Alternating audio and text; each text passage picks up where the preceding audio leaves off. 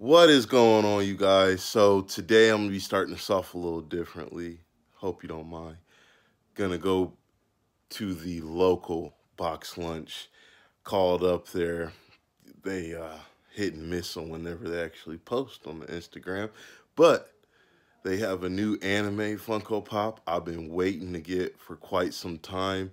I'm ready to add it to the collection. It's probably one of my favorite anime characters of all time, without a doubt.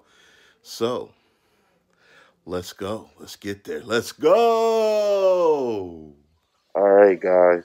So, and box lunch, secured the bag. I'm out here looking at some of this dope stuff they got.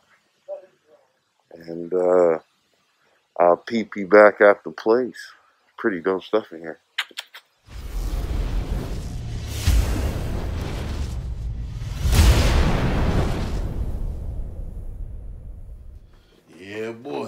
wait to get into this one.